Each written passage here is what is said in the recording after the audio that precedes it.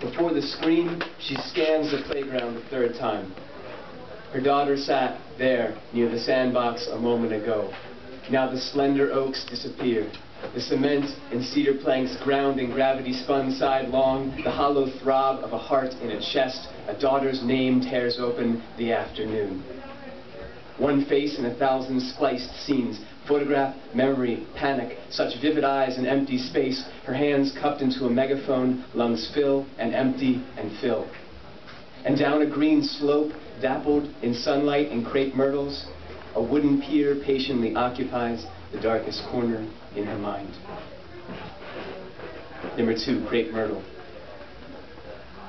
Lit green and lavender wander beneath her in the draped over space, nothing visible through the filtered sunlight, nothing beyond the latticework of now.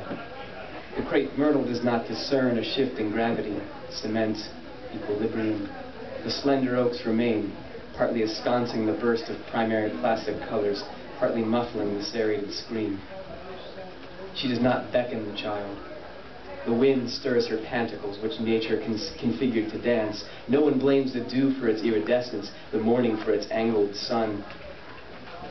And the crepe myrtle, the wooden pier, with the wind in its impatient lungs, each understands though the syntax eludes them. A moment only laces through the eyelids of everything else. Number three, daughter. Cool cement and sand grains, everything touch and sight and now. Wind through the crepe myrtles sends showers of crinkled violet into the air. She stumbles toward them and into the sunlight. Hands open for the blossoms, each moment flutters without language, rhythm tethers from the seconds preceding this one, then stretched across her periphery, a silver photograph of the sky, in verse, creased endlessly by the wind and with the clipped cries and white noise of playground receding, she constructs a threefold memory. Uneven footsteps on the wooden pier, a green nebula of algae, the enchanting burble of an aerator.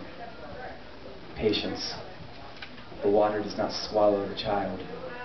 It only stirs her silhouette and works inwards until the darkness fills her lungs.